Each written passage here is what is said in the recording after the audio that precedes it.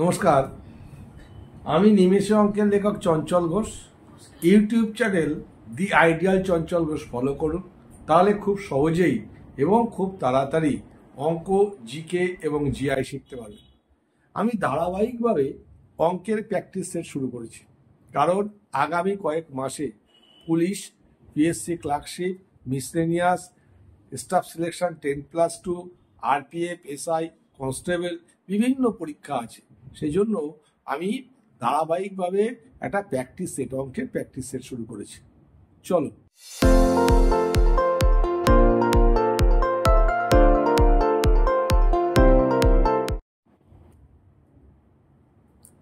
দেখো, এই যে অঙ্ক শুরু করেছি চ্যাপ্টার ধরে ধরে, খুব ভালো ভালো অঙ্কগুলো আমি এক জায়গায় করে দিয়েছি।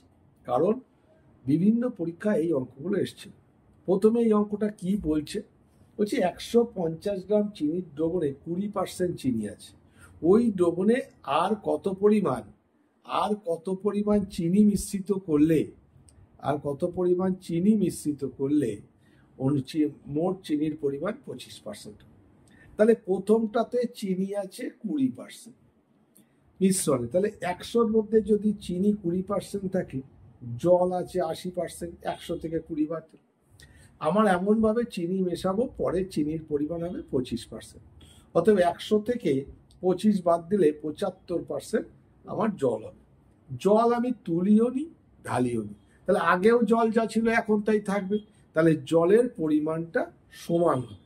এই আশি পার্সেন্ট সমান পঁচাত্তর পার্সেন্ট কখন সম্ভব? যদি তাদের মিশ্রণটা ব্যস্তানুপাতে থাকে।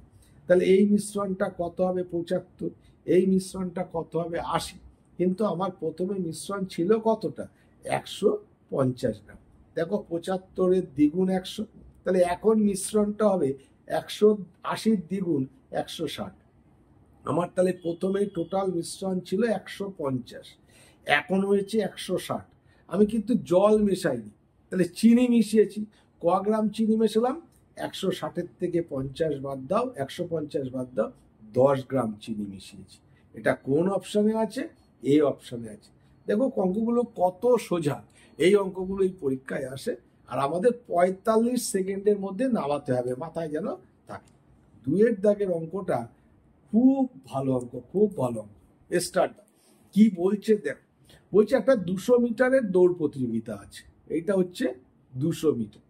এ ঘন্টায় পাঁচ কিমি গতিবেগে যাচ্ছে, এর গতিবেগ পাঁচ কিমি পার বি যখন আট মিটার এগিয়ে আছে মানে এ এখান থেকে যখন রওনা দেবে বি অলরেডি আট মিটার এগিয়ে আছে। এরপরে বলছে এ এখানে পৌঁছে গেছে গন্তব্যে, তবুও বিকে আট সেকেন্ডে পরাজিত করেছে। আমার চেয়েছে বি এর গতিবেগ কত।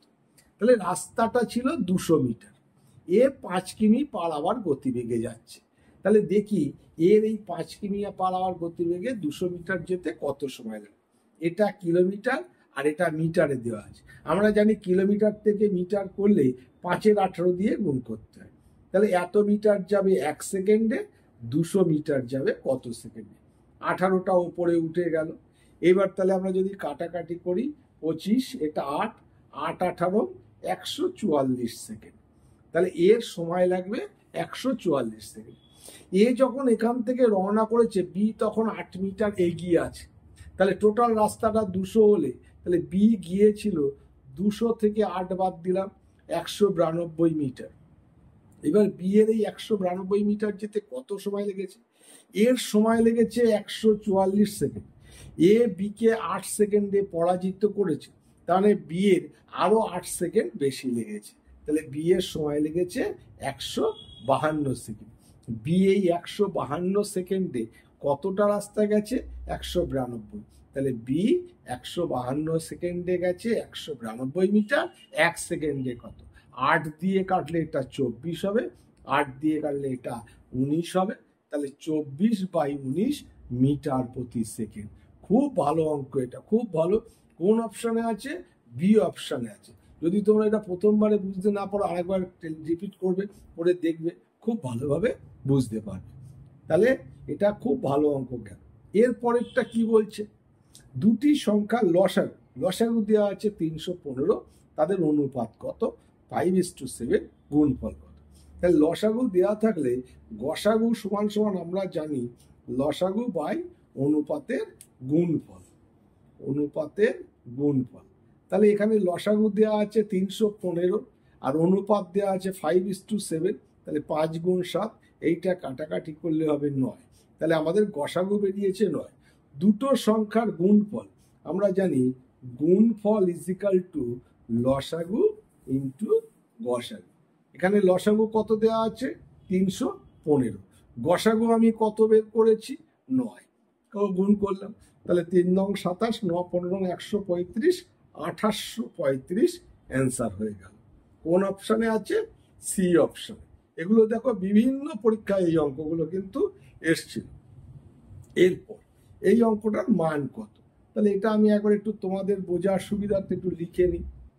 Zero point zero two plus zero point zero zero four nine দেখো, এই যে জিরো জিরো বর্গমূলের বাইরে দশমিক অর্ধেক হয়ে যায়। তাহলে এইটা যা আছে তাই লিখলাম। এরপর জিরো জিরো ফোর নাইন এইটাকে বর্গমূল করলে হয় জিরো পয়েন্ট জিরো সেভেন তাহলে এইটা যোগ করলে কত হবে? জিরো পয়েন্ট জিরো নাইন তাহলে নয়ের বর্গমূল করলে কত হবে? তিন। আর দুই দশমিক আছে, এক দশমিকের পরে। কোন অপশনে আছে? ডি অপশনে। দেখো কত সোজা অঙ্ক এরপর এরপর এটা কি আছে?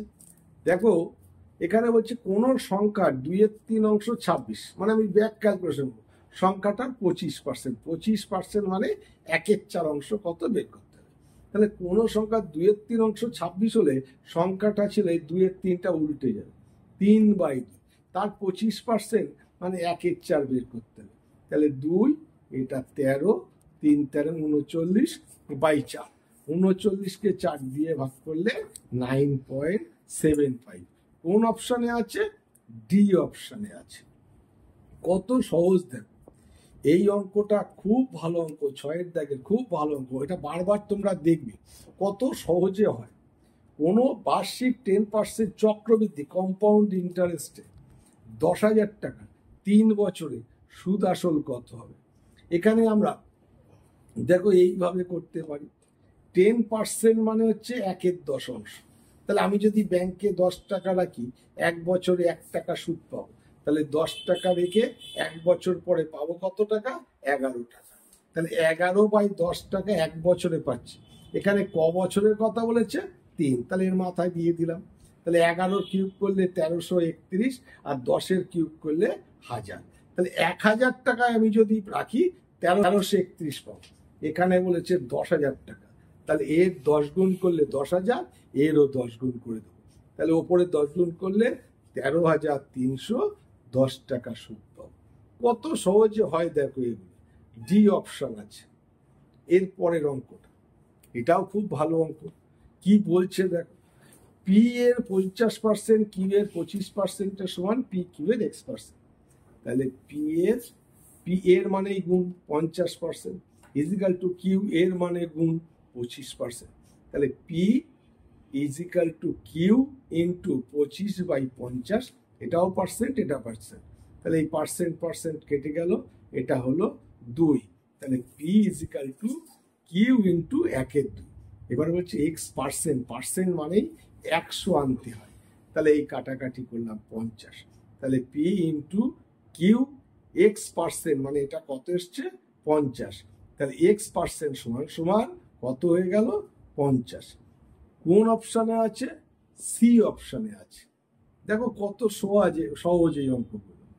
এরপর এ বি সির বয়সের অনুপাত বলছে five is to eight is to nine A B C five is to eight is to nine এসির বয়সের সমষ্টি, তার মানে এ আর সি এর বয়সের সমষ্টি মানে অনুপাতের সমষ্টি করি।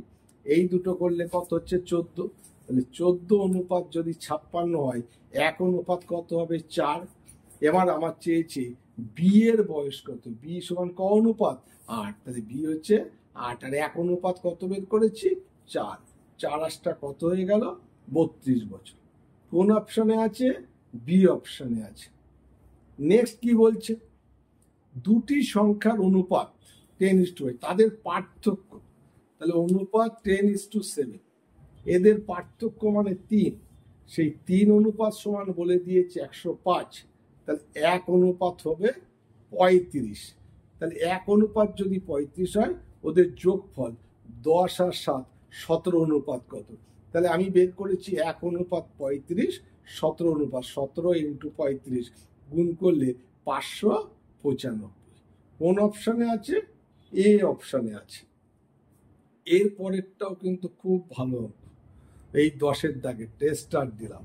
বারবার করে দেখবে এই অঙ্ক কোনো আসল চক্রবৃদ্ধি সুদের হারে তিন বছরের সুদে আসলে সাতাশ গুণ হলে বার্ষিক সুদের হার। এই অঙ্কটা আমি একটা নিয়ম শিখিয়ে দিচ্ছি। এই নিয়মে প্র্যাকটিস করবে। দেখবে খুব সহজ। ধরো তুমি ব্যাংকে আসল এক টাকা রেখেছো। হয়েছে সাতাশ গুণ। তার মানে সুদ আসল হয়েছে কত টাকা? সাতাশ টাকা। ক বছরে? তিন বছর। কম্পাউন্ডটা যত বছর পড়বে তত রুট করে দেবে। তাহলে সাতাশের কিউব রুট করলে কত হলো? তিন, যদি দু বছর বলতো বর্গমূল করতে হবে যদি চার বছর বলতো ফোর রুট করতে হবে কারণ তিন বছর বলছে বলে ঘনমূল, তিন। কিন্তু তিন টাকা হলো, আমি এখানে রেখেছিলাম কত টাকা? এক টাকা। তাহলে এই আসলে এক টাকাটা বাদ দিলাম, হলো কত টাকা? দু টাকা।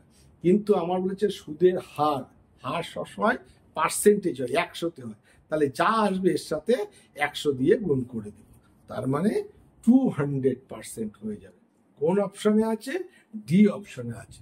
দেখো এগুলো কত সহজে হলো, কত ভালো ভালো অঙ্ক। এইভাবে যদি তোমরা ধারাবাহিকভাবে আমার এইগুলো দেখতে থাকো, তাহলে খুব সহজেই এবং খুব তাড়াতাড়ি শিখতে পারবে। আর তোমাদের যদি এগুলো ভালো লাগে, তোমরা কমেন্ট করবে লাইক এবং সাবস্ক্রাইব করবে এবং আরও কি ধরনের জিকে অঙ্ক চাইছো, সেগুলো আমাকে লিখবে ওখানে। আমি তাহলে সহজেই সেগুলো প্র্যাকটিস করাতে পারব তোমাদের। আর যদি নিচের ডেসক্রিপশনে আমাদের নিজস্ব মোবাইল নাম্বার কিছু সেন্টার আছে আমাদের নিজস্ব, তার অ্যাড্রেস দেওয়া আছে। তোমরা যদি আমার কাছে সরাসরি পড়তে চাও, ওই মোবাইল নাম্বারে যোগাযোগ করো, তাহলে আমার কাছে শিখতে পারবে। নমস্কার।